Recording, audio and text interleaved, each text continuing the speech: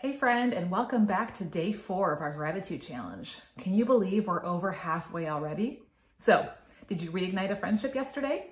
I would love to hear. And today we're going to focus on our field of work.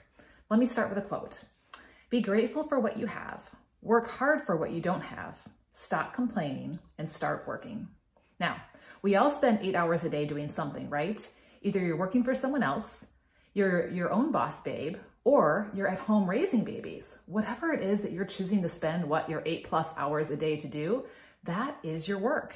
And it's very easy though to complain, right? It's very easy to look at what we're doing and not be so happy with it. But the best way to appreciate it is to imagine yourself without it. Or maybe think about this. Remember when you prayed to God for that job and he gave you the answer to your prayers? Hmm, might make you think twice before you complain, right? So choose instead to see the blessings and the opportunities of the work that you have to do. Maybe it's not just because of you. Maybe it's for somebody else and there's a that that's the purpose that you are there. But the beautiful thing about work too is that it's you're not stuck doing the same thing for the rest of your life. You can change. You can choose to decide to go work for someone else. You can choose to start your own thing or you can choose to stay home. The part that what really matters is that you are investing in what matters to you and is really going to be using the gifts and the skills that you have. So here's our daily challenge.